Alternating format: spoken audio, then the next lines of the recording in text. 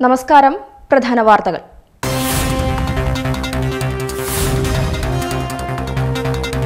അടുത്ത നാല് ദിവസം അതിശക്തമായ മഴയ്ക്ക് സാധ്യതയെന്ന മുന്നറിയിപ്പ്. ആലപ്പുഴ ഉൾപ്പെടെയുള്ള ചില ജില്ലകളിൽ യെല്ലോ അലർട്ട് തുടരും.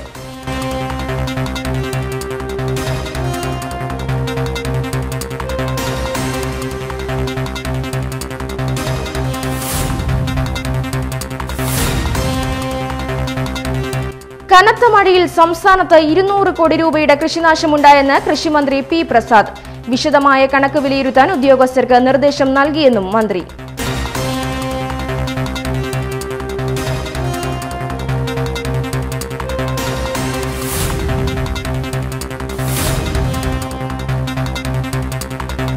വെള്ളപ്പൊക്കത്തിന്റെ പേരിൽ ജനങ്ങളുടെ മേൽ ഭരണകൂട ഭീകരത അടിച്ചേൽപ്പിക്കുവാനുള്ള ശ്രമം അപലപനീയമാണെന്ന് കൊടിക്കുന്നിൽ സുരേഷ് എം ജനങ്ങളെ പോലീസിനെയും ഉദ്യോഗസ്ഥന്മാരെയും ഉപയോഗിച്ച് ഭീഷണിപ്പെടുത്തുവാനുള്ള നീക്കം അവസാനിപ്പിക്കണമെന്നും എം പി.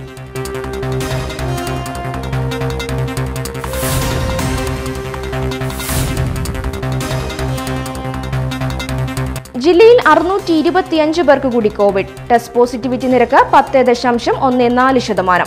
അറുന്നൂറ്റി അറുപത് പേർ രോഗമുക്തരായി.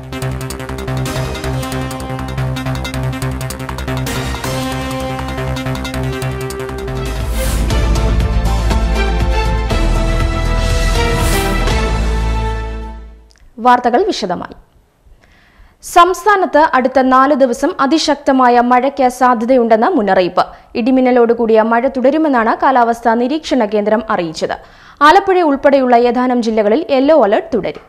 സംസ്ഥാനത്ത് അടുത്ത നാല് ദിവസം അതിശക്തമായ മഴയ്ക്ക് സാധ്യതയുണ്ടെന്നാണ് കാലാവസ്ഥാ വിഭാഗത്തിന്റെ മുന്നറിയിപ്പ്. തെക്കൻ തമിഴ്നാട് തീരത്തിന് സമീപം ചക്രവാത ചുഴി രൂപപ്പെട്ടതിനെ തുടർന്നാണ് മുന്നറിയിപ്പ് വന്നത്. സംസ്ഥാനത്ത് ഇടിമിന്നലോടുകൂടിയ മഴ തുടരുമെന്നാണ് കാലാവസ്ഥാ നിരീക്ഷണ കേന്ദ്രം അറിയിച്ചിരിക്കുന്നത്. ഒക്ടോബർ ഇരുപത്തിനാല് വരെ ഇടിമിന്നലോടുകൂടിയ മഴയ്ക്കാണ് സാധ്യത. ആലപ്പുഴ ഉൾപ്പെടെയുള്ള ജില്ലകളിൽ യെല്ലോ അലർട്ട് പ്രഖ്യാപിച്ചിട്ടുണ്ട്. അതിശക്തമായ മഴയ്ക്കുള്ള സാധ്യതയാണ് ഈ ജില്ലകളിൽ കാലാവസ്ഥാ നിരീക്ഷണ കേന്ദ്രം പ്രവചിച്ചിട്ടുള്ളത്. C D net news Kayamkulam. കൊയ്ത്തിനു ഭാഗമായ പാടശേഖരത്ത് മട വീണു ചെറുതന തേവേരി തണ്ടപ്ര പാടശേഖരത്താണ് മടവീഴ്ചയുണ്ടായത്. നാനൂറ് ഏക്കർ ഉള്ള പാടശേഖരത്ത് നെൽച്ചെടികൾ കൊയ്ത്തിനു ഭാഗമായിട്ട് പത്ത് ദിവസം കഴിഞ്ഞിരുന്നു. കൊയ്ത്തിനു ഭാഗമായ പാടശേഖരത്ത് മട വീണു ഹരിപ്പാട് ചെറുതന തേവേരി തണ്ടപ്ര പാടശേഖരത്താണ് പുലർച്ചെ മൂന്ന് മണിയോടെ മടവീഴ്ചയുണ്ടായത്. നാനൂറ് ഏക്കറുള്ള പാടശേഖരത്ത് നെൽച്ചെടികൾ കൊയ്ത്തിന് ഭാഗമായിട്ട് പത്ത് ദിവസം പിന്നിട്ടിരുന്നു. മഴയും വെള്ളപ്പൊക്കവും കാരണമാണ് ഇവിടെ കൊയ്ത്ത് നടക്കാതിരുന്നത്.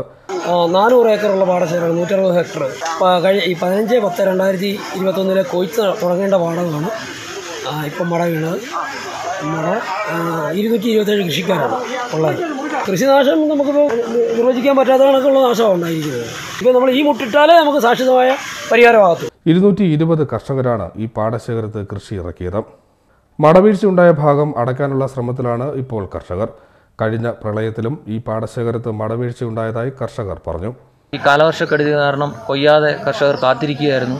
ഈ മഴയും പ്രളയമൊക്കെ മാറിയിട്ട് മെഷീൻ ഇറക്കാൻ പതിനഞ്ചാം തീയതി ഡേറ്റ് എടുത്തിരുന്ന മെഷീൻ ഇറക്കേണ്ട തീയതിയായിരുന്നു. എന്നിട്ട് ഈ പ്രളയം കാരണം അത് മാറ്റി വെച്ചുകൊണ്ട് മുന്നോട്ട് പോവുകയായിരുന്നു. ഈ സമയത്താണ് ഇന്ന് രാവിലെ പെട്ടെന്ന് പുലർച്ചെ മൂന്ന് മണിക്ക് തന്നെ ചെറുതായിട്ട് മട വീണു. അതിപ്പോൾ ഇവിടുത്തെ കർഷകരുടെ നേതൃത്വത്തിൽ ഇവിടുത്തെ നല്ലവരായ നാട്ടുകാരും കൃഷിക്കാരും എല്ലാവരും കൂടെ ചേർന്നുകൊണ്ട് അത് മടയിടാനുള്ള ശ്രമം നടത്തിക്കൊണ്ടിരിക്കുകയാണ്.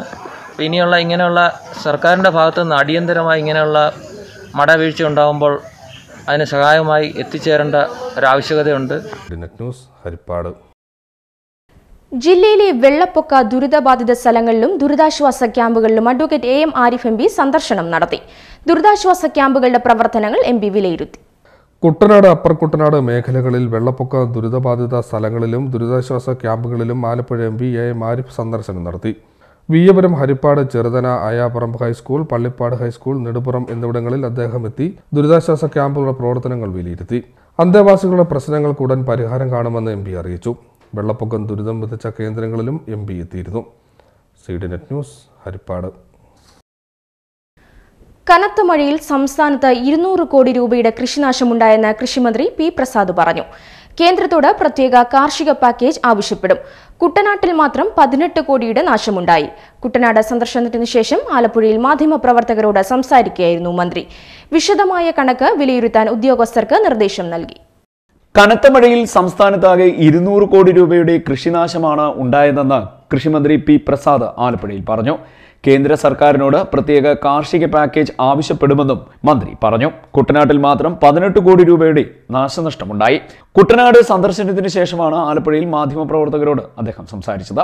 നാളെ മുതലുള്ള ദിവസങ്ങളിൽ മഴ പെയ്യും എന്നതിനെ കുറിച്ചാണ് ഇതുമായി ബന്ധപ്പെട്ട വിഭാഗങ്ങളുടെ ഭാഗത്തിൽ ഉണ്ടായിരിക്കുന്ന നിർദ്ദേശങ്ങൾ അതുകൊണ്ട് അതീവമായ ജാഗ്രതയിൽ തന്നെയാണ് നിൽക്കേണ്ടത്. ഇതൊരു മഴ പെയ്യാതിരിക്കുന്നു എന്നുള്ളതുകൊണ്ട് നമ്മുടെ ജാഗ്രതകൾക്കകത്ത് അല്പം പോലും കുറവ് വരുത്താൻ പാടില്ല.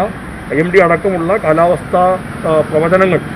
അത് ശാസ്ത്രീയമായ തരത്തിലുള്ള കണക്കുകൂട്ടൽ അടിസ്ഥാനത്തിൽ അവരെല്ലാം പറയുന്നത് വരും ദിവസങ്ങളിൽ ശക്തമായ മഴയ്ക്കുള്ള സാധ്യതയുണ്ട് എന്നാണ്. അപ്പോൾ അതിനെ നമ്മൾ ഗൗനിക്കാതിരുന്നാൽ രണ്ട് ദിവസം മഴ തോർന്നു നിൽക്കുന്നു. ഇപ്പം മഴയില്ല വെയിലൊക്കെയാണ്. അതുകൊണ്ട് നമുക്ക് ഈ കാര്യത്തിൽ ഗൗരവം കാണിക്കേണ്ടതില്ല എന്ന് ഒരിക്കലും കരുതാൻ പാടില്ല. അതുകൊണ്ടാണ് ഞങ്ങൾ നേരിട്ട് തന്നെ കുട്ടനാട്ടിലെത്തി പ്രദേശങ്ങളെല്ലാം സന്ദർശിച്ച് ബുദ്ധിമുട്ടുകളും പ്രയാസങ്ങളുള്ള പ്രദേശങ്ങളെല്ലാം കാണുകയും ഇതിന്റെ ഒരു പേരിൽ ആൾക്കാരെല്ലാം ഗൗരവം കാണിക്കേണ്ടതില്ല എന്ന ഒരു തോന്നലുണ്ടാകാൻ പാടില്ല എന്ന് അവരോട് പറയുകയും ചെയ്തു. വിശദമായ കണക്ക് വിലയിരുത്താൻ ഉദ്യോഗസ്ഥർക്ക് നിർദ്ദേശം നൽകി. കാലാവസ്ഥാ പ്രവചനം കണക്കിലെടുത്ത് വലിയ മുന്നൊരുക്കമാണ് സംസ്ഥാന സർക്കാർ നടത്തുന്നത്. വെള്ളം കയറാൻ സാധ്യതയുള്ള പ്രദേശങ്ങളിലെല്ലാം ജനങ്ങളെ മാറ്റുകയും ക്യാമ്പുകൾ തുറക്കുകയും ചെയ്തു. കൂടുതൽ വെള്ളപ്പൊക്ക സാധ്യതയുള്ള കുട്ടനാട്ടിൽ നിന്ന് ജനങ്ങളെ മാറ്റി. പല സ്ഥലങ്ങളിലും മടവീഴ്ച ഉണ്ടായിട്ടുണ്ട്. കൊയ്യാറായ നെല്ല് കിളിർത്ത സംഭവവും ഉണ്ടായി നഷ്ടപരിഹാര കണക്ക് ഉടൻ നൽകാൻ ഉദ്യോഗസ്ഥർക്ക് നിർദ്ദേശം നൽകിയിട്ടുണ്ടെന്നും മന്ത്രി പറഞ്ഞു. സി പി ഐ ജില്ലാ സെക്രട്ടറി ടി ജെ ആഞ്ചലോസും ഒപ്പമുണ്ടായിരുന്നു. ഒരാളുടെ പോലും ജീവന് സ്വത്തിന് പ്രയാസം ഉണ്ടാവാതിരിക്കാൻ ഭാഗത്തിൽ ഉള്ള ഇടപെടൽ തീർക്കാനാണ് സംസ്ഥാന സർക്കാർ ഈ പറയുന്ന മുൻകരുതലെല്ലാം എടുക്കുന്നത്. എല്ലാ പേരും അത്തരം കാര്യങ്ങളോട് സഹായിക്കുകയും സഹകരിക്കേണ്ടത് അത്യന്താപേക്ഷിതമായ കാര്യമാണ്. എല്ലാ ക്യാമ്പുകളുമായി ബന്ധപ്പെട്ട് ഞാനിപ്പോൾ കുട്ടനാട്ടിലെ നിരവധി ക്യാമ്പുകൾ സന്ദർശിച്ചു. ക്യാമ്പുകളെല്ലാം ബന്ധപ്പെട്ട ഉദ്യോഗസ്ഥന്മാരെ ക്രമീകരിച്ചിട്ടുണ്ട്. ആ ഉദ്യോഗസ്ഥന്മാർ അവിടെ പ്രത്യേകമായി ചുമതലയുള്ളവരുണ്ടാവും. ഭക്ഷണത്തിന്റെ കാര്യത്തിൽ കുടിവെള്ളത്തിന്റെ കാര്യത്തിൽ ബുദ്ധിമുട്ടുണ്ടാവാതിരിക്കാനുള്ള ഏർപ്പാട് ചെയ്തിട്ടുണ്ട്. കുട്ടനാട്ടിൽ ഏറ്റവും വലിയ പ്രശ്നം ഉണ്ടാകുന്നത് കാരണം കുടിവെള്ളത്തിന്റെ പ്രശ്നമാണ്. ആ പ്രശ്നം ഉണ്ടാവാതിരിക്കാൻ വെള്ളം അവിടെ കൃത്യമായി എന്നവണ്ണം എത്തിക്കാനുള്ള സംവിധാനം ഏർപ്പാടാക്കിയിട്ടുണ്ട്. C D news Kayamkulam. Devikulangara panchayat നിവാസികൾ മഴയിലും കാറ്റിലും ജാഗ്രത പാലിക്കണമെന്ന് ഗ്രാമപഞ്ചായത്ത് പ്രസിഡന്റ് എസ് പവനനാഥൻ അറിയിച്ചു. ശക്തമായ മഴയും കാറ്റും ഉണ്ടാകാൻ സാധ്യതയുണ്ടെന്ന് അറിയിച്ചിരിക്കുകയാണ്. ഗ്രാമപഞ്ചായത്തും മുൻകരുതലുകൾ എടുക്കുകയാണെന്നും പവനനാഥൻ അറിയിച്ചു. ദേവികുളങ്ങര പഞ്ചായത്ത് നിവാസികൾ മഴയിലും കാറ്റിലും ജാഗ്രത പാലിക്കണമെന്ന് ഗ്രാമപഞ്ചായത്ത് പ്രസിഡന്റ് എസ് പവനനാഥൻ അറിയിച്ചു. ശക്തമായ മഴയും കാറ്റും ഉണ്ടാകാൻ സാധ്യതയുണ്ടെന്ന് അറിയിച്ചിരിക്കുകയാണ്. സർക്കാർ എല്ലാ നടപടികളും സ്വീകരിച്ചിട്ടുണ്ട്. ദുരന്തങ്ങൾ ഉണ്ടാകാതിരിക്കാൻ നമ്മുടെ പഞ്ചായത്തും മുൻകരുതലുകൾ എടുക്കണമെന്ന് അദ്ദേഹം പറഞ്ഞു. ഇന്നലെ ദേവിളങ്ങര പഞ്ചായത്തിലും ദുരന്ത നിവാരണ പഞ്ചായത്തുകളിലെ കമ്മിറ്റി കൂടുകയുണ്ടായി. എല്ലാ ഡിപ്പാർട്ട്മെന്റിനെയും പ്രതിനിധീകരിച്ചും ഉദ്യോഗസ്ഥരടക്കമുള്ളവർ പങ്കെടുത്തു. നമ്മുടെ പഞ്ചായത്തിലും ഈ മഴയെയും കാറ്റിനെയും അതിനെ നേരിടാൻ വേണ്ടിയുള്ള പ്രവർത്തനങ്ങൾ നമ്മൾ ആലോചിച്ചു. അതിന്റെ അടിസ്ഥാനത്തിൽ നമ്മുടെ പോലീസ് ഫയർഫോഴ്സിലെ ഉദ്യോഗസ്ഥർ കെ എസ് സി ബിയിലെ ഉദ്യോഗസ്ഥർ വാട്ടർ അതോറിറ്റി അങ്ങനെ തുടങ്ങി നമ്മുടെ ആരോഗ്യ പ്രവർത്തകർ എല്ലാവരും നമ്മൾ ഈ മഴയെയും കാറ്റിനെയും വന്ന് എന്തെങ്കിലും ദുര ദുരന്തമുണ്ടായി കഴിഞ്ഞാൽ അതിനെ നേരിടാൻ വേണ്ടിയുള്ള പ്രവർത്തനങ്ങൾ ആലോചിച്ചു. നമ്മുടെ നാട്ടിലെ ജനങ്ങൾ പ്രത്യേകിച്ചും ശ്രദ്ധിക്കേണ്ടത് മരങ്ങൾ അതേപോലെ പോസ്റ്റുകളൊക്കെ എവിടെയെങ്കിലും ചാഞ്ഞു നിൽക്കുകയോ അപകട ഭീഷണിയോ ശ്രദ്ധയിൽപ്പെട്ട് കഴിഞ്ഞാൽ പഞ്ചായത്ത് ഓഫീസിൽ അറിയിക്കണം. ശനിയാഴ്ച വരെ ശക്തമായ കാറ്റിന് സാധ്യതയുണ്ട്. മരങ്ങൾ കടപുഴകാനും ചില്ലകൾ ഒടിയാനും സാധ്യതയുള്ളതിനാൽ മരച്ചുവട്ടിൽ നിൽക്കാനോ വാഹനം പാർക്ക് ചെയ്യാനോ പാടില്ല. അപകടാവസ്ഥയിലുള്ള മരങ്ങൾ ശ്രദ്ധയിൽപ്പെട്ടാൽ പഞ്ചായത്ത് ഓഫീസിൽ വിവരം അറിയിക്കണം. ഉറപ്പില്ലാത്ത പരസ്യ ബോർഡുകൾ ഇലക്ട്രിക് പോസ്റ്റ് കൊടിമരം എന്നിവ ബലപ്പെടുത്തുകയോ അഴിച്ചു മാറ്റുകയോ ചെയ്യണം. കാറ്റ് വീശുമ്പോൾ ജനലും വാതിലും അടച്ചിടുക ഓലമേഞ്ഞതോ ഷീറ്റ് പാകിയതോ അടച്ചുറപ്പില്ലാത്തതോ ആയ വീടുകളിൽ താമസിക്കുന്നവർ ഒന്ന് പൂജ്യം ഏഴ് ഏഴ് എന്ന നമ്പറിൽ ബന്ധപ്പെട്ട് സുരക്ഷിത ഇടങ്ങളിലേക്ക് മാറണം. വൈദ്യുതി കമ്പിയും പോസ്റ്റും വീഴുന്ന ശ്രദ്ധയിൽപ്പെട്ടാൽ ഒന്ന് ഒൻപത് ഒന്ന് രണ്ട് ഒന്ന് പൂജ്യം ഏഴ് ഏഴ് എന്നീ നമ്പറുകളിൽ വിവരം അറിയിക്കണം. ഏതു തരത്തിലുമുള്ള ദുരന്തങ്ങൾ ഉണ്ടായാലും താഴെ പറയുന്ന ഡിപ്പാർട്ട്മെന്റുകളിലെ നമ്പറുകളിൽ പൊതുജനങ്ങൾക്ക് ബന്ധപ്പെടാവുന്നതാണെന്ന് ഗ്രാമപഞ്ചായത്ത് പ്രസിഡന്റ് എസ് പവനനാഥൻ അറിയിച്ചു. C net news Devikulangara Mavelikara നഗരസഭയിൽ വെള്ളപ്പൊക്കത്തെ തുടർന്ന് ആരംഭിച്ച ദുരിതാശ്വാസ ക്യാമ്പുകളിൽ നഗരസഭാ ചെയർമാൻ കെ വി ശ്രീകുമാറിന്റെ നേതൃത്വത്തിലുള്ള സംഘം സന്ദർശനം നടത്തി. കുരുവിക്കാട് യു പി സ്കൂളിലും മാവേലിക്കര ബി എച്ച് ഹൈസ്കൂളിലും ആരംഭിച്ച ദുരിതാശ്വാസ ക്യാമ്പുകളിലാണ് സന്ദർശനം നടത്തിയത്. മാവേലിക്കര നഗരസഭയിൽ വെള്ളപ്പൊക്കത്തെ തുടർന്ന് ആരംഭിച്ച ദുരിതാശ്വാസ ക്യാമ്പുകളിൽ നഗരസഭാ ചെയർമാൻ കെ വി ശ്രീകുമാറിന്റെ നേതൃത്വത്തിലുള്ള സംഘം സന്ദർശനം നടത്തി. കുരുവിക്കാട് യു പി സ്കൂളിലും മാവേലിക്കര ബി എച്ച് ഹൈസ്കൂളിലും ആരംഭിച്ച ദുരിതാശ്വാസ ക്യാമ്പുകളിലാണ് സന്ദർശനം നടന്നത്. ആൾക്കാരെ നമ്മുടെ ക്യാമ്പിൽ താമസിപ്പിച്ചിട്ടുണ്ട്. അവർക്ക് എല്ലാ സഹായങ്ങളും സഹകരണങ്ങളും എല്ലാ ഭക്ഷണ സാധനങ്ങളും ഉൾപ്പെടെ എല്ലാ കാര്യങ്ങളും നഗരസഭയുടെ ഭാഗത്തു നിന്നും ഉണ്ടാക്കിയിട്ടുണ്ട്. എല്ലാ കാര്യങ്ങളും സർക്കാരാണ് അതിനകത്ത് ചെയ്തിരിക്കുന്നത് ഞങ്ങൾ നഗരസഭ മേൽനോട്ടമാണ് നോക്കുന്നത്. ചെയർമാൻ എന്നുള്ള നിലയ്ക്കും എന്റെ കൗൺസിൽ അംഗങ്ങളും സ്റ്റാൻഡിംഗ് കമ്മിറ്റി ചെയർമാന്മാരും സെക്രട്ടറി ഉൾപ്പെടെ സൂപ്രണ്ട് ഹെൽത്ത് ഡിപ്പാർട്ട്മെന്റ് ഉൾപ്പെടെ എല്ലാവരും നല്ല രീതിയിൽ ഈ ക്യാമ്പിന് വേണ്ട കാര്യങ്ങൾ ചെയ്യുന്നുണ്ട്. Mavelikara municipal chairman K V Sreekumar vice chairperson Lalitha Ravindranath വികസന standing committee chairman Ani Varghese ആരോഗ്യ standing committee chairman Sajeev Prayikkara ക്ഷേമകാര്യ standing committee chairperson Shanthi Ajayan കൗൺസിലർമാരായ K Gopan Manas Rajappan Jayasree Ajayakumar village officer തുടങ്ങിയവർ സംഘത്തിലുണ്ടായിരുന്നു. C net news Mavelikara.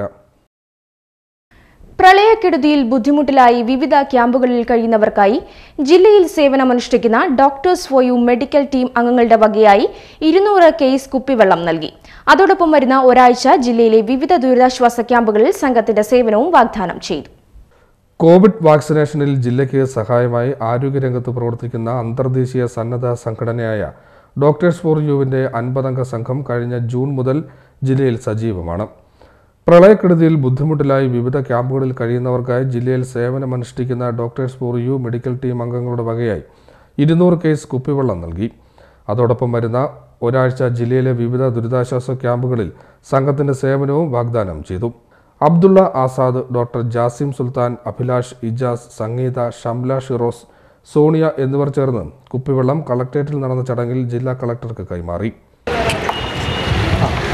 ഈ doctors park എന്ന് പറയുന്ന സംഘടന നമുക്ക് കോവിഡ് കാലത്ത് ഒത്തിരിയേറെ സഹായങ്ങൾ ചെയ്തിട്ടുണ്ട്. വെന്റിലേറ്റർ തന്നിട്ടുണ്ട്. നമുക്ക് നൂറിനാട് ഒരു ഓക്സിജൻ പ്ലാന്റ് തന്നിട്ടുണ്ട്. അതോടൊപ്പം ഇതുമായി ബന്ധപ്പെട്ട് മെഡിക്കൽ എക്യുപ്മെന്റ്സ് ഒത്തിരിയേറെ സഹായങ്ങൾ അവർ ചെയ്തു.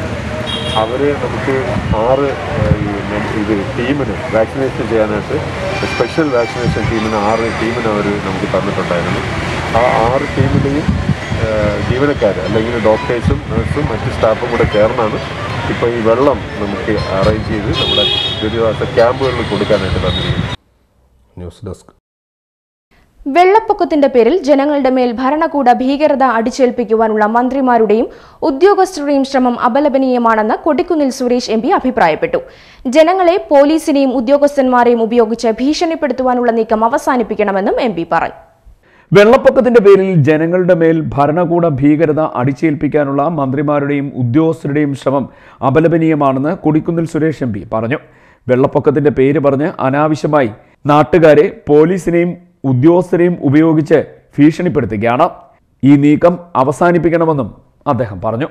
C D news Kayamkulam. Kayamkulam Moolassery society കടവിന് സമീപം ചാക്കോലി തെക്കേ പുതുവേലിൽ എഴുപത് വയസ്സുകാരിയായ പൊന്നമ്മ നയിക്കുന്നത് അങ്ങേയറ്റം ദുരിതപൂർണമായ ജീവിതമാണ്. അധികൃതരുടെ കാരുണ്യമർഹിക്കുന്ന ആ ജീവിതത്തിന്റെ നേർക്കാഴ്ചയിലേക്ക്.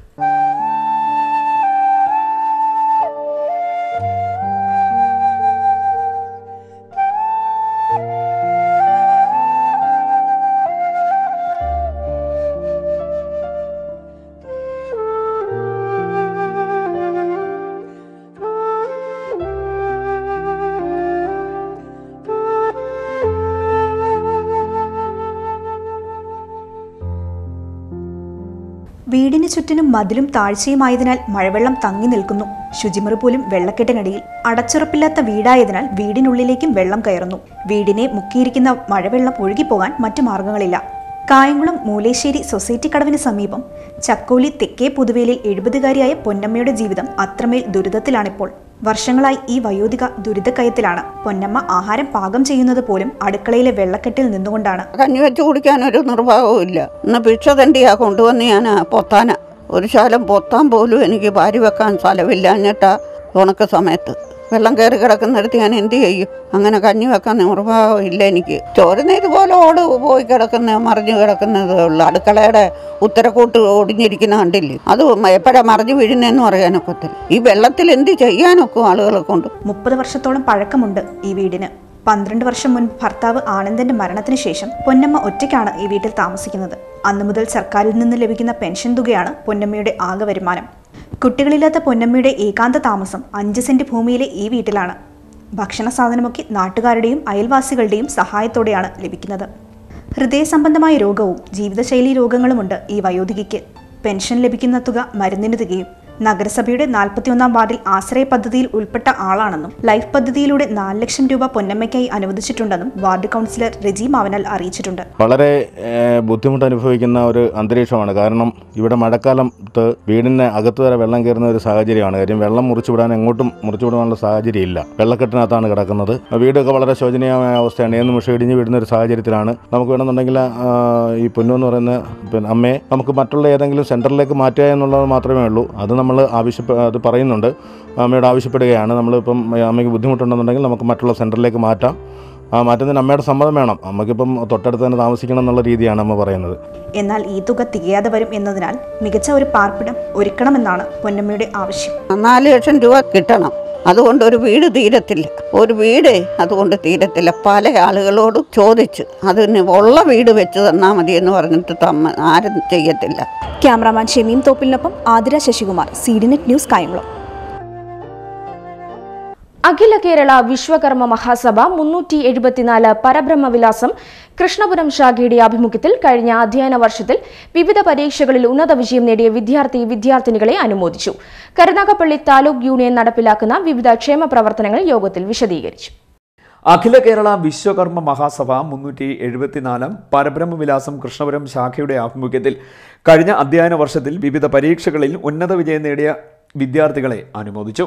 കരുനാഗപ്പള്ളി താലൂക്ക് യൂണിയൻ നടപ്പാക്കുന്ന വിവിധ ക്ഷേമ പ്രവർത്തനങ്ങൾ യോഗത്തിൽ വിശദീകരിച്ചു. താലൂക്ക് യൂണിയൻ സെക്രട്ടറി ഗോപാലകൃഷ്ണൻ പ്രയാർ ഉദ്ഘാടനവും ക്ഷേമ പദ്ധതി വിശദീകരണവും നിർവഹിച്ചു. പറഞ്ഞു പക്ഷെ അതല്ല ആ പറഞ്ഞാൽ മാത്രം പോരാ നമുക്ക് പ്രാപ്തിയാക്കണം ആ എൽ ഇ ഡി ബൾബിന്റെ പിന്നെ ഈ ഹോൾസെയിലായിട്ട് കാര്യങ്ങൾ എത്തിക്കാനും പിടിക്കാനും ചുമതലപ്പെടുത്തിയിരിക്കുന്നത് നമ്മുടെ നിങ്ങളുടെ ശാഖയുടെ ഇവിടുത്തെ സതീഷിനെ സതീഷിനാണ് അത് കാര്യങ്ങളുമായിട്ട് മുന്നോട്ട് കൊണ്ടുപോകുന്നത്. അപ്പം നല്ല രീതിയിൽ പ്രവർത്തിച്ചുകൊണ്ടിരിക്കുന്ന ഇപ്പോൾ അതായത് ധനകാര്യ സ്ഥാപനം നമ്മളെ സഹായിക്കാൻ മുന്നോട്ട് വരുമ്പോഴേ നമ്മളത് പരമാവധി നമ്മൾ വാങ്ങി കൈ വാങ്ങിച്ചെടുത്തിട്ട് ഉപയോഗിക്കും ഉപയോഗ നമുക്ക് ഉപകാരപ്രദമായ രീതിയിൽ അത് ഉപയോഗിക്കുക. ശാഖാ പ്രസിഡന്റ് കെ രമേശൻ അധ്യക്ഷത വഹിച്ചു. Radhakrishnan Chenkara Satheesh S Menavilayil Viju Viswanath Babu Kuttikizhakkathil Raghu M Puthenpurayil Ambika R Kuttikizhakkathil Soman D എന്നിവർ സംസാരിച്ചു. C D news Krishnapuram. ജില്ലയിൽ അറുന്നൂറ്റി ഇരുപത്തിയഞ്ച് പേർക്ക് കൂടി കോവിഡ് സ്ഥിരീകരിച്ചു. അറുന്നൂറ്റി ഒൻപത് പേർക്കും സമ്പർക്കത്തിലൂടെയാണ് രോഗം ബാധിച്ചത്. പതിനാറ് പേരുടെ സമ്പർക്ക ഉറവിടം വ്യക്തമല്ല. ടെസ്റ്റ് പോസിറ്റിവിറ്റി പത്ത് ദശാംശം ഒന്ന് നാല് ശതമാനമാണ്. അറുന്നൂറ്റി അറുപത് പേർ രോഗമുക്തരായി. നിലവിൽ മൂവായിരത്തി എണ്ണൂറ്റി അറുപത്തിനാല് പേർ ചികിത്സയിലും കഴിയുന്നു. നബിദിനത്തിന്റെ ഭാഗമായി കായംകുളത്തെ ഇറച്ചി മാർക്കറ്റിലെ വ്യാപാരികളും തൊഴിലാളികളും ചേർന്ന് അന്നദാന വിതരണം നടത്തി. നിരവധി പേർക്ക് ഭക്ഷണം നൽകി. അനീസ് പഴയ തെരുവിൽ ഭക്ഷണ വിതരണത്തിന് നേതൃത്വം നൽകി. നബിദിനത്തിന്റെ ഭാഗമായി കായംകുളത്ത് ഇറച്ചി മാർക്കറ്റിലെ വ്യാപാരികളും തൊഴിലാളികളും ചേർന്ന് അന്നദാന വിതരണം നടത്തി. നിരവധി പേർക്ക് ഭക്ഷണം നൽകി. അനീസ് പഴയ തെരുവിൽ ഭക്ഷണ വിതരണത്തിന് നേതൃത്വം നൽകി. C net news Kayamkulam. കർഷക കോൺഗ്രസ് ജില്ലാ നേതൃയോഗം നടന്നു. D C C president advocate B Babu Prasad ഉദ്ഘാടനം ചെയ്തു. കർഷക കോൺഗ്രസ് ജില്ലാ നേതൃത്വ യോഗം D C C president advocate B Babu Prasad ഉദ്ഘാടനം ചെയ്തു. ബജറ്റിനോടൊപ്പമുള്ള ആ ഇംപ്ലിമെന്റേഷന്റെ ബജറ്റിനോടൊപ്പമുള്ള ആ ബുക്കിനകത്ത് അടിക്കും എന്നുള്ളതല്ലാതെ ഒന്നും ചെയ്തിട്ടില്ല. പകരം എന്ത് ചെയ്തു? ജില്ലയുടെ പടിഞ്ഞാറ് വശം കരിമണൽ ഖനന ലോബിക്ക് വേണ്ടി നമ്മുടെ വലിയ ഒരുപാട് കോടിക്കണക്കിന് രൂപ സി പി എമ്മിന്റെ തെരഞ്ഞെടുപ്പ് ഫണ്ടിലേക്ക് സംഭാവന ചെയ്യുന്നവരാണ് കരിമണം മാഫിയായുടെ രണ്ട് തോഴന്മാരാണ്. അപ്പൊ അവർക്ക് അവർക്ക് ഗവൺമെന്റിന്റെ സ്ഥാപനമായ കെ എം എം എൽ മുഖേന ആ കെ എം എം എല്ലിന്റെ ഗേറ്റിനകത്തൂടെ കയറി ലോറി നേരെ പോകുന്നത് വയോരാജിന്റെയും തത്തായുടെയും ഗോഡൌണിലേക്കാണ്. സംസ്ഥാന president Lal Varghese Kalpakavadi K P C C general secretary A A Shukkoor മുൻ എം എൽ എ കർഷക കോൺഗ്രസ് ജില്ലാ പ്രസിഡന്റ് മാത്യു ചെറുപറമ്പൻ മുഞ്ഞിനാട് രാമചന്ദ്രൻ ചെറുപ്പുറത്ത് മുരളി ജോജി ചെറിയാൻ കെ വേണുഗോപാൽ സിബി മൂലംകുന്ന് എന്നിവർ ചടങ്ങിൽ സംസാരിച്ചു. C D net news Kayamkulam. Kerala സർക്കാർ വ്യവസായ വകുപ്പ് P M E G P പദ്ധതി പ്രകാരം കാനറ ബാങ്ക് പത്തിയൂർ ശാഖയുടെ സഹകരണത്തോടെ മുപ്പത്തിയഞ്ച് ശതമാനം സബ്സിഡിയോടുകൂടി കരിയിലക്കുളങ്ങര മലമേൽ ഭാഗത്ത് ആരംഭിച്ച എൻ കെ ഇൻഡസ്ട്രീസ് എന്ന സ്ഥാപനം പ്രവർത്തനം തുടങ്ങി. ജില്ലാ panchayat vice president advocate Bibin C Babu ഉദ്ഘാടനം നിർവഹിച്ചു. കേരള സർക്കാർ വ്യവസായ വകുപ്പ് P M E G P പദ്ധതി പ്രകാരം കനറ ബാങ്ക് പത്തിയൂർ ശാഖയുടെ സഹകരണത്തോടെ മുപ്പത്തി അഞ്ച് ശതമാനം സബ്സിഡിയോടുകൂടി കരിലക്കുളങ്ങര മലമേൽ ഭാഗത്ത് ആരംഭിച്ച എൻ കെ ഇൻഡസ്ട്രീസ് എന്ന സ്ഥാപനം പ്രവർത്തനം ആരംഭിച്ചു. പത്തിയൂർ ഗ്രാമപഞ്ചായത്ത് പ്രസിഡന്റ് എൽ ഉഷയുടെ അധ്യക്ഷതയിൽ ആലപ്പുഴ ജില്ലാ panchayat vice president advocate Bibin C Babu ഉദ്ഘാടനം ചെയ്തു. ധാരാളം യൂണിറ്റുകളുണ്ട്. ഗവൺമെന്റ് വലിയ രൂപത്തിലുള്ള ഇളവുകളാണ് ഇങ്ങനെയുള്ള യൂണിറ്റുകൾക്ക് നൽകിയിട്ടുള്ളത്.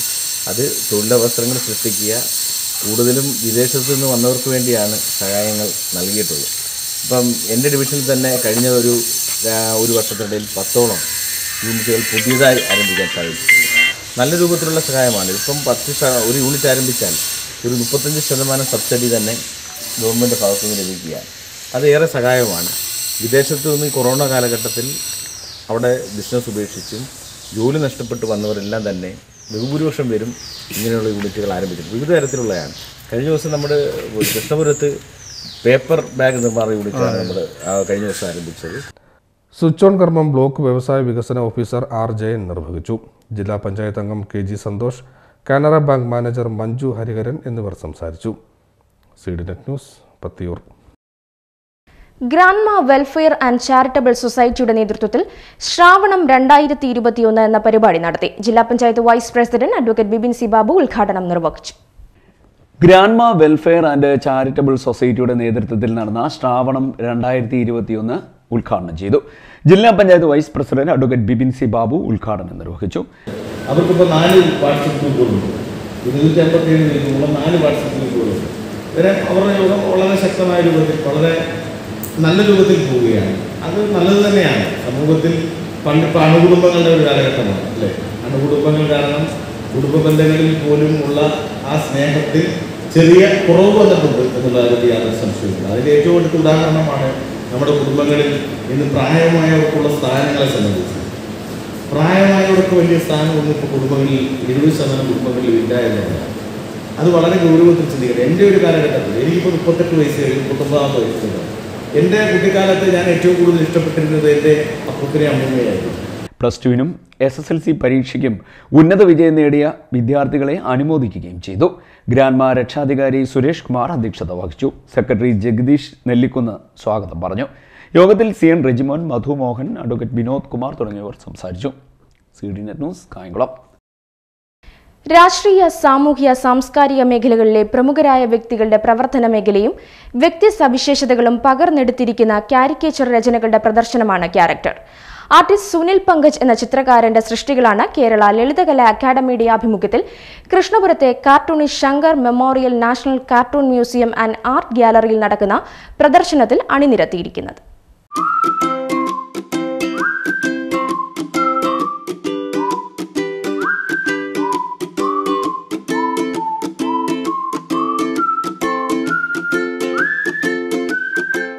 നർമ്മത്തിൽ ചാലിച്ച നിറക്കൂട്ടുമായി ആർട്ടിസ്റ്റ് സുനിൽ പങ്കജിന്റെ ക്യാരക്ടർ എന്ന ഏകാംഗ കാരിക്കേച്ചർ പ്രദർശനമാണ് ശ്രദ്ധേയമാകുന്നത്.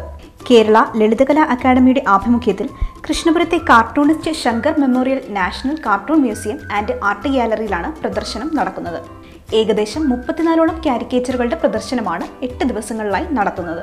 രാഷ്ട്രീയ സാമൂഹിക സാംസ്കാരിക മേഖലകളിലെ പ്രമുഖരായ വ്യക്തികളുടെ പ്രവർത്തന മേഖലയും വ്യക്തി സവിശേഷതകളും പകർന്നെടുത്തിരിക്കുന്ന മൗലിക സൃഷ്ടികളായ കാരിക്കേച്ചറുകളാണ് ഉൾപ്പെടുത്തിയിരിക്കുന്നത്. മതത്തിന്റെയും ജാതിയുടെയും അതിർവരമ്പുകളില്ലാത്ത ചിത്രകലയിലൂടെ മനുഷ്യന്റെ പച്ചയായ ജീവിതം തുറന്നു പറയുന്ന ചിത്രങ്ങളാണ് ഓരോന്നും. ആയിരത്തി തൊള്ളായിരത്തി എഴുപതിൽ കെ എൻ വാസുദേവിന്റെയും സംഗീത അധ്യാപിക എം പങ്കജാക്ഷിയുടെയും മകനായാണ് സുനിൽ പങ്കജിന്റെ ജനനം. മാസ്മരികമായ ഉൾക്കാഴ്ചയിൽ നിന്നും ക്യാൻവാസിൽ പിറവിയെടുത്തിരിക്കുന്ന ഓരോ ചിത്രങ്ങളും ജീവൻ തുടിക്കുന്നവയാണ്. വരകളിൽ രാഷ്ട്രീയ നേതാക്കന്മാർ മാത്രമല്ല സിനിമാ താരങ്ങളും എഴുത്തുകാരും വ്യവസായ സംരംഭകരും പ്രമുഖ പാട്ടുകാരും പുരോഹിതരും ഒക്കെ നിറയുന്നുണ്ട്. ഒറ്റ ചിത്രം കൊണ്ട് ഒരു വ്യക്തിയുടെ ജീവചരിത്രം തന്നെ കുറിക്കുന്ന മാന്ത്രിക വിദ്യയാണ് സുനിൽ പങ്കജിന്റെ സൃഷ്ടികളുടെ സവിശേഷത. കാരിക്കേച്ചറിന് തിരഞ്ഞെടുക്കുന്ന വ്യക്തിയെ സൂക്ഷ്മമായി അടുത്തറിഞ്ഞ് അവരെ സംബന്ധിക്കുന്ന വിവരങ്ങൾ ചിത്രങ്ങളിലൂടെയും ലേഖനങ്ങളിലൂടെയും വീഡിയോകളിലൂടെയും പഠിച്ചതിന് ശേഷമാണ് വരയ്ക്കാൻ തുനിയുന്നത്. ജർമ്മനിയിൽ നിന്നും ഇറക്കുമതി ചെയ്യുന്ന സ്റ്റെഡ്ലർ കമ്പനിയുടെ ചായ പെൻസിലുകൾ ഉപയോഗിച്ചാണ് അവരെ ക്യാൻവാസിലേക്ക് പകർത്തുന്നത്. ഒരു ചിത്രം പൂർത്തിയാക്കാൻ ഒരു ദിവസമാണ് എടുക്കുകയെന്നും പെൻസിലുകൾ കൂർപ്പിക്കുന്നതിനാണ് അധിക സമയം വേണ്ടിവരുന്നതെന്നും സുനിൽ പങ്കജ് പറഞ്ഞു. ദേശീയ തലത്തിലും അന്തർദേശീയ തലത്തിലും അതുപോലെ സംസ്ഥാന തലത്തിലും വ്യക്തി മുദ്രകൾ പതിപ്പിച്ച വ്യക്തികളെയാണ് ഞാനിവിടെ കാരിക്കേച്ചറായിട്ട് ചെയ്തിരിക്കുന്നത്. ഏകദേശം മുപ്പത്തിരണ്ട് കാരിക്കേച്ചറുകൾ ഞാനിവിടെ വെച്ചിട്ടുണ്ട് പ്രദർശനത്തിൽ വെച്ചിട്ടുണ്ട്. ഇത് മീഡിയം പേപ്പർ എ ഫോർ പേപ്പറിലാണ് വരച്ച് കളർ പെൻസിൽ കൊണ്ടാണ് കളർ ചെയ്തിരിക്കുന്നത്. ഓരോ വ്യക്തിയും കാരിക്കേച്ചർ ചെയ്യാനായിട്ട് ഞാൻ അവരുടെ വീഡിയോയും അവരുടെ പ്രത്യേകതകളും അവരെക്കുറിച്ച് വായിച്ച് പഠിച്ച് ഏകദേശം അവരുടെ ഓരോ കാര്യങ്ങൾ മനസ്സിലാക്കിയിട്ടാണ് കാരിക്കേച്ചർ ചെയ്യുന്നത്. ഒരു ദിവസമെങ്കിലും ചിലപ്പോൾ ഒരു ഒന്നിൽ കൂടുതൽ അല്ലെങ്കിൽ ചിലപ്പോൾ ഒന്നര ദിവസമൊക്കെ ഒരു കാരിക്കേച്ചറിന് എടുക്കാറുണ്ട്. കൂടുതൽ സമയം നമ്മൾ അതിലേക്ക് മുഴുവൻ തോറും നമുക്ക് അത്രയും കൂടി ആ കാരിക്കേച്ചറിൽ ആ വ്യക്തിയെ നമ്മൾ അറിയുകയും ചെയ്യുകയും എനിക്ക് പറ്റുന്നുണ്ട്. അതിന്റെ ഒരു റിസൾട്ടാണ് ഈ കാരിക്കേച്ചറിൽ ഇവിടെ കാണുന്നത്. ചിത്രത്തിന് ആസ്പദമാകുന്ന വ്യക്തിയുടെ സ്വഭാവത്തിലെ സൂക്ഷ്മ സവിശേഷതകൾ ചിത്രകാരൻ എങ്ങനെ മനസ്സിലാക്കുന്നു എന്ന് ആസ്വാദകന് അത്ഭുതം തോന്നും വിധമാണ് സുനിലിന്റെ ഓരോ ചിത്രങ്ങളും. വ്യക്തിയുടെ മുഖത്ത് മറ്റാരും ശ്രദ്ധിക്കാത്ത ചുളിവുകൾ പാടുകൾ കൃഷ്ണമണിയിലെ ജീവന്റെ തുടിപ്പ് മറുകുകൾ എന്നിവയൊക്കെ ചിത്രത്തിലെ നർമ്മത്തിന്റെ മാറ്റ് കൂട്ടുന്നു. വർഷങ്ങളോളം ലേഔട്ട് ആർട്ടിസ്റ്റായി ജോലി ചെയ്ത സുനിലിന്റെ മകൻ സാരഥി ഫോട്ടോഗ്രാഫറാണ് സുധയാണ് ഭാര്യ. ആവശ്യക്കാർക്ക് ചിത്രങ്ങൾ വരച്ചു നൽകുന്നുമുണ്ട് ഈ കലാകാരൻ. മാഗസിനുകൾക്കും മറ്റ് പ്രസിദ്ധീകരണങ്ങൾക്കുമെല്ലാം ചിത്രങ്ങൾ വരച്ചു നൽകുന്നുമുണ്ട്.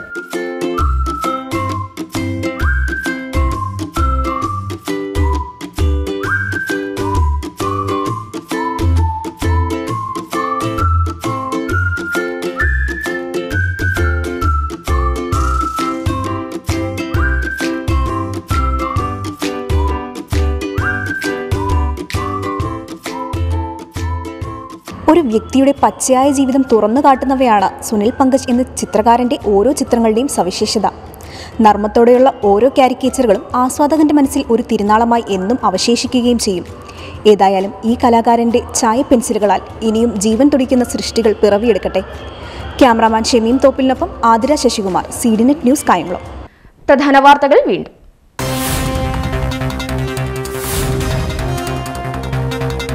അടുത്ത നാല് ദിവസം അതിശക്തമായ മഴയ്ക്ക് സാധ്യതയെന്ന മുന്നറിയിപ്പ്. ആലപ്പുഴ ഉൾപ്പെടെയുള്ള ചില ജില്ലകളിൽ യെല്ലോ അലർട്ട് തുടരും.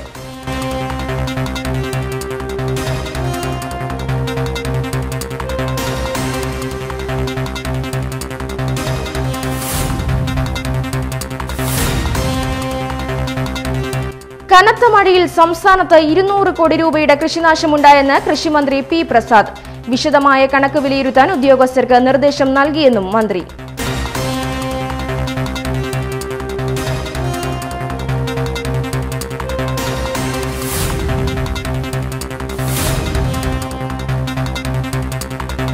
വെള്ളപ്പൊക്കത്തിന്റെ പേരിൽ ജനങ്ങളുടെ മേൽ ഭരണകൂട ഭീകരത അടിച്ചേൽപ്പിക്കുവാനുള്ള ശ്രമം അപലപനീയമാണെന്ന് കൊടിക്കുന്നിൽ സുരേഷ് എം പി.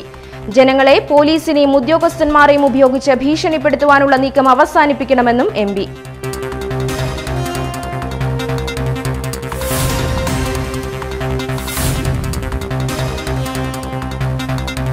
ജില്ലയിൽ അറുന്നൂറ്റി ഇരുപത്തിയഞ്ച് പേർക്ക് കൂടി കോവിഡ്. ടെസ്റ്റ് പോസിറ്റിവിറ്റി നിരക്ക് പത്ത് ദശാംശം ഒന്ന് നാല് ശതമാനം.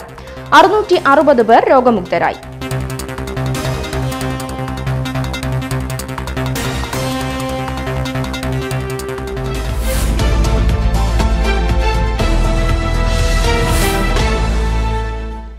ഈ വാർത്താ ബുള്ളറ്റിൻ പൂർണമാകുന്നു. നമസ്കാരം.